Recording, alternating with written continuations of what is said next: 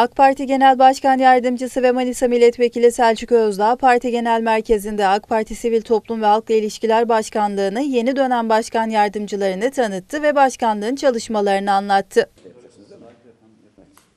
Burada yaptığı konuşmada Özdağ, Güneydoğu Anadolu'da sokağa çıkma yasağı olan Sur, Cizre, Silopi, Varto ve Beytülşebap'ta 112 tır yardım malzemesi gönderdiklerini belirtti.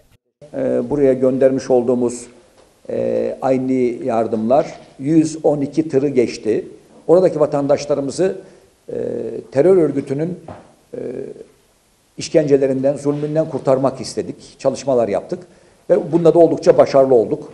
2019 seçimlerinde AK Parti'nin oy oranını %54'e çıkarmak istediklerini belirten Özdağ, üniversitelerin iletişim fakültelerinin dekanlarını, halkla ilişkiler bölüm başkanlarını Ankara'ya davet ettikleri ve çalıştay yapmayı planladıklarını söyledi.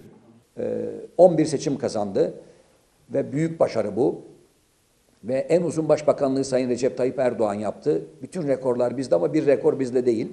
Bu Menderes'in %54 oy alması e, kendisine ait, Menderes'e aitti. Biz nasıl olur da %54 oyu 2019 seçimlerinde yakalarız ve aşarız diye düşünüyoruz.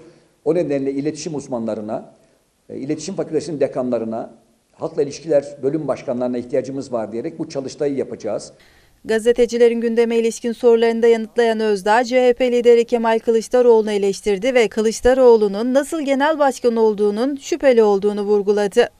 Sayın Cumhurbaşkanı sadece ve sadece burada bir düşüncesini söyledi. Anayasa Mahkemesi burada yetki gaspı yapmıştır dedi. Anayasa Mahkemesi burada e, görev sınırlarını ihlal etmiştir dedi. Ki Anayasa Mahkemesi Başkanı daha önce 2008 yılında Anayasa Mahkemesi'nin gerekçesini açıklamadan bir kararı açıklamasını anayasaya aykırı olarak kabul etmişti Anayasa Mahkemesi Başkanı. Şimdi kendisi aynı hataya düştü. Gerekçesini açıklamadan kararı açıkladı. Bu çok ciddi şekilde bir tenakus, çok ciddi bir çelişki.